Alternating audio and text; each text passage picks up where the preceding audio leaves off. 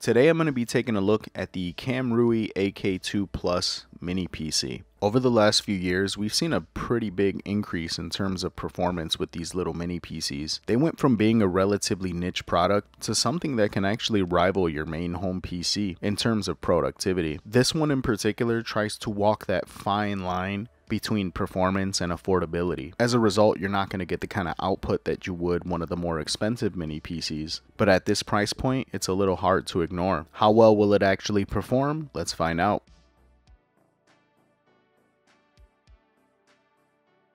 Inside the box, you have the AK2 Plus itself, you have the power supply, an HDMI cable, and a mounting bracket in case you want to mount it on a wall or behind the display. On the side of the unit, we have two USB 3.0 ports and a standard USB port. Over on the back side, you have another USB port, two HDMI ports that output in 4K 60 frames per second. You have the Ethernet port, as well as a 3.5mm headphone jack that can be used for a microphone. You also have this little tab right here that when pushed to the side, the entire top of the unit opens up, revealing a slot where you can add another SSD. This thing can take up to a 2 terabyte. Under the hood, it's running an Alder Lake N100, running 4 cores with a burst frequency of up to 3.4 gigahertz. This being an alternative to their AK1 Plus model that sports an Alder Lake N95 processor. Which one is better depends on what you plan on using it for. It comes with 16 gigabytes of DDR4 RAM.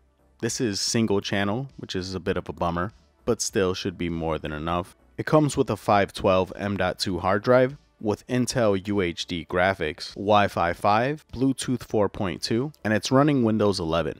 In terms of benchmarks, it's not blowing anything out of the water, but should be more than enough for what I plan on using it for. Make no mistake about it, this is a pretty capable machine. Being used as a portable workstation, outputting in 4K 60 frames per second is a huge benefit, and its Windows 11 ran silky smooth. In terms of gaming, you could get most older games to run using lower settings. Most games I had that came out during the 7th generation ran relatively smooth natively using low settings. You'll get solid performance using some less resource heavy games as well. But overall, for its price point, I was pretty impressed with its gaming prowess. I was able to get some choppy PS2 emulation running, but it's less than ideal. You can probably get better performance using some less resource heavy games, but there are much better ways to emulate PlayStation 2. GameCube ran surprisingly better. There were still a few instances of slowdown, but they were few and far between. It's pretty impressive that a mini PC at this price point is capable of emulating these games. Now where I feel this thing really shines is in terms of streaming.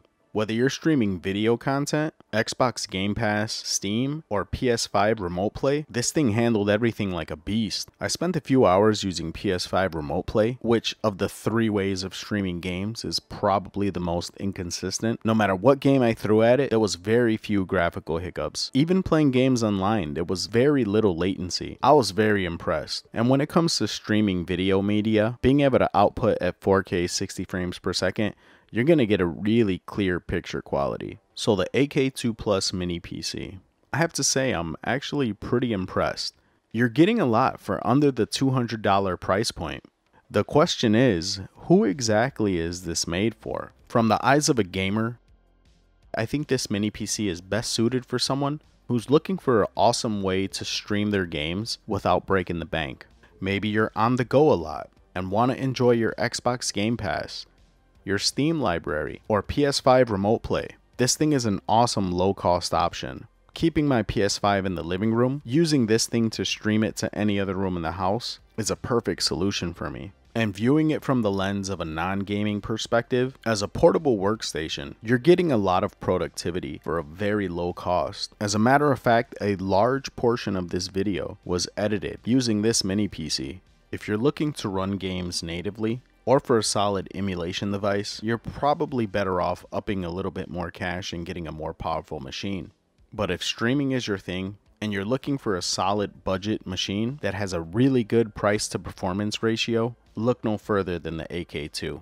If you guys are interested in the Kamrui AK2 Plus, I'll put links in the description below. Until next time, this is Nes, signing out.